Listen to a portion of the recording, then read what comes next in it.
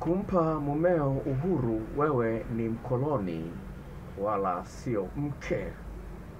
Well, ni mada ngumu kidogo kwa watu wengi, lakini bado kwambia hivi, katika uhusiano wa kimapenzi kati ya mwanaume na mwanamke, usawa ni kitu cha msingi sana, na usawa haimaanishi kwamba kila mmoja apende ugali. Hapana, usawa maana yake jinsi gani kila mmoja anaheshimu hisia za mwenzie, anaheshimu mahitaji ya mwenzie, anaheshimu uwepo wa mwenzie.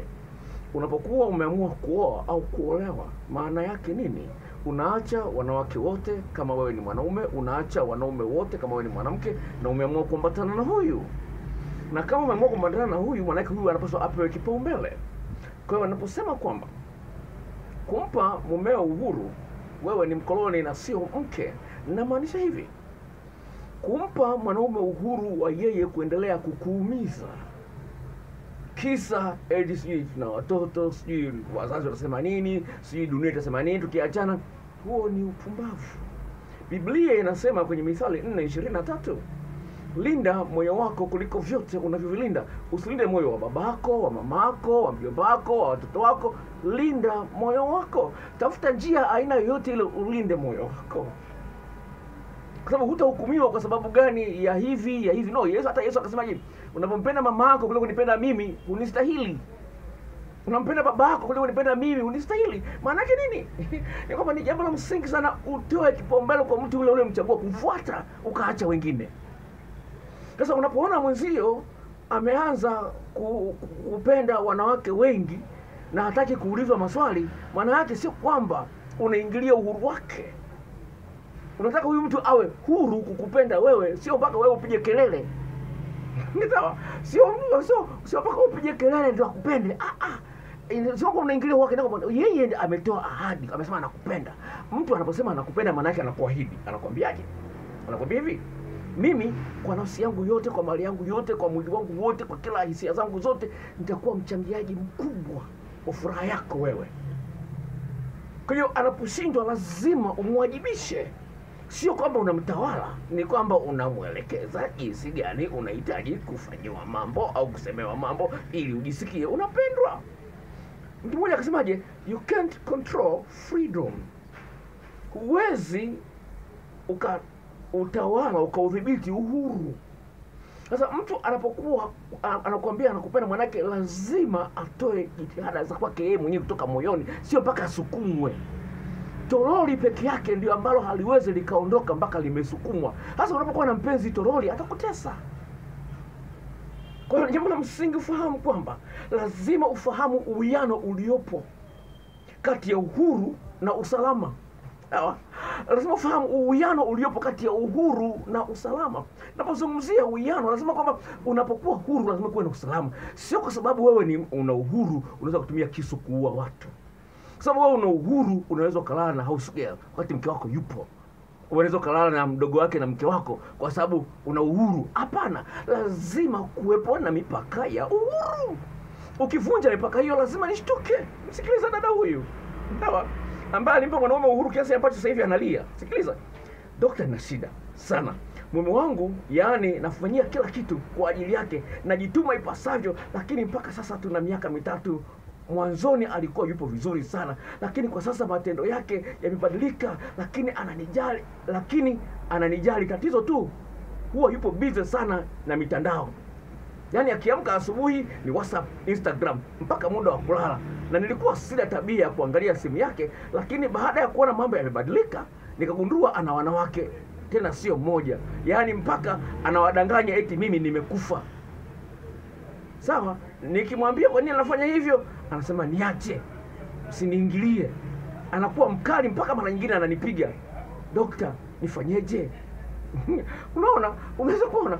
Kwa hiyo jambo la msingi kwa eh, mtazamaji unaangalia channel hii ya Dr. Mahaba. Jambo la msingi ufahamu kwamba no lazima umfundishe mpenzi wako jinsi gani ya kuheshimu mipaka ya uhuru alionao. Anapokusaliti amevunja sheria. Amekwenda nje ya mpaka. Unapoingia Kenya huna visa utakamatwa unapoenda nchi nyingine bila visa utakamatwa lazima ni nchi sawa? Una miguu yako ya kuingilia mle sawa? Lakini lazima uingie kwa taratibu. Lazima uwe na visa kibali kwa kuingia nchi nyingine jirani. Sawa? Sasa kama una visa huwezi kaenda uganda. Lazima una visa ya uganda ndio uingie uganda. Sasa lazima kweli ni kweli huko na uhuru lakini kwenye nchi nyingine. Kwa hiyo huyu mwenzio naye vile vile anahitaji mipaka hiyo uiheshimu. Sawa?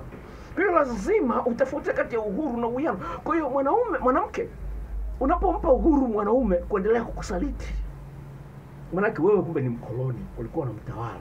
Sasa hivi umempa uhuru. Lazima huyu mtu kwa nafsi yake mwenyewe ajitume aone kwamba usaliti ni kitu kibaya. Sawa? Mm -hmm. lazima kuna mada naiandaa hapa ambayo nitaweka hii tena nani ya, nani ya, ya, ya, ya Dr. Mahaba hapa. Sawa? Sawa? Wa- wa- wanaume ambao wanajua umuhimu wa kuwa waaminifu. Sawa? Mwanamume mmoja akasema akasema hivi there are plenty of hot girls out there but none of them has an emotional connection like the one I have with my wife anasema kuna wanawake wengine wazee wazuri lakini hakuna hata mmoja ambaye anafikia jinsi gani mke wangu ananipenda ananithamini mwingine anasemaje It is a question of really how much stress do you want. Sure, you could bang the new girl, but then what? But then what? You sneak like a thief. Sasa hivi ndio kuna wanawake wazuri huko nje, utamtia vizuri, sawa sawa, utamtia, unajisikia utamu, umepizi mara tatu, si mara nne, utasikia sawa, lakini kinachofuata nini? Kati una mke utakuwa ni mtu wa kukwepa kwepa tu, asishike simu yako, una amani, ina faida gani?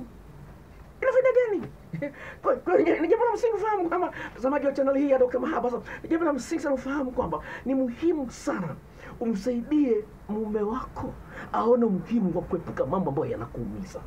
Hayo ndio mapenzi, sawa? Sasa kama humpi sababu ya yeye kuacha kukuumiza, tambua kwamba unapaswa ujifunze na channel hii ina video zaidi ya elfu moja na kufundisha katika mambo mbalimbali. Nimeshatoa shuhuda mbalimbali hapa, sawa? Dada miaka kumi na tisa ndani ya ndoa, mume wake anachepuka vibaya sana, ameamua kumwomba Mungu afunge wiki nzima kumwomba Mungu apate jibu, manake anajua Mungu hapendi watu wachane.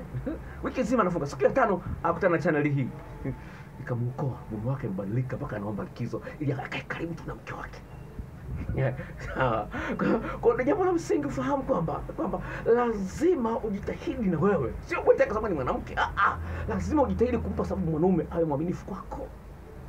Ufahamu jinsi ya kumwandaa mwanaume, jinsi ya kumtriti mwanaume, sawa. Ufahamu haya mambo ni muhimu sana, sawa.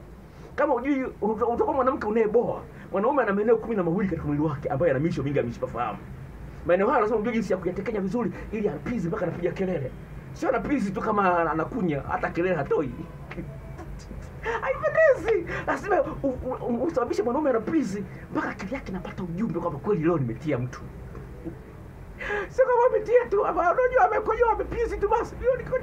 Sasa wewe mwanaume anaishia goli moja, hana hamu na wewe, wiki siku tatu zinapita hajakutia, unajiona mjanja. Kwa hiyo ili uweze kuishika akili ya mwanaume sawa, ajisikie huru kufanyia dada moja, mpaka mwanaume anamwambia nikienda Dubai na kuletea gari jipya, ana hali ya mpya sawa, lakini ameenda kuletea gari lingine mpya, amekutana na vitu tofauti. Mwanaume ambaye hajawahi kununulia hajawahi hajawahi kununulia mke wake zawadi, akili anashangaa hata kununua mazawadi. Kwa nini? Amepata sababu mpya kama kweli mke wangu ananipenda mwanamke mmoja ndani ya miaka kumi na saba yuko ndani ya ndoa miaka kumi na saba toka Dar es Salaam sawa, miaka kumi na saba ndani ya ndoa. Mume baada ya kupata na, na jinsi ya kumwandaa mwanaume sawa sawa, mwanaume anamwambia ulikuwa wapi miaka yote kumi na saba? Ulikuwa unanionea aibu, unajua kushika mapumbu ya mwanaume unanionea aibu. ulikuwa nini ulikuwa wapi miaka yote hii?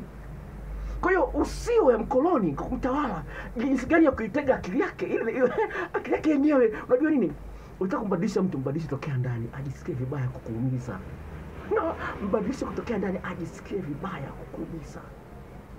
Kupiga kelele ni shida. Mtu mmoja akasemaje, kuna tofauti kati ya not, noti na sarafu. Sarafu inapiga kelele nyingi sana, kwa sababu haina thamani, lakini noti haipigi kelele, iko kimya. Kwa hiyo fanyie kazi haya uweze kuwa mpenzi bora. Kwa wale ambao wanaangalia kwenye eh, Instagram, itembelea channel yangu inaitwa kwa jina la Dr. Mahaba, Dr. Mahaba, sawa na wale ambao wanaangalia kwenye YouTube channel nani account yangu ya Instagram ni drpo Mwaipopo. Mtembelee pale uweze kuniona vizuri zaidi katika maeneo mengine. God bless you.